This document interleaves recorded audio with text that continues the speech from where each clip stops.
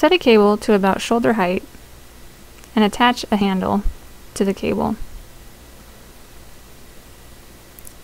Grab the cable with your right hand and stagger your feet so your right foot's in the back.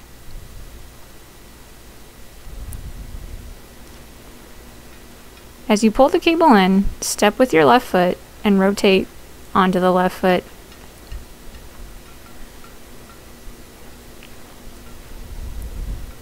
Step forward with the right as you're pressing the cable forward.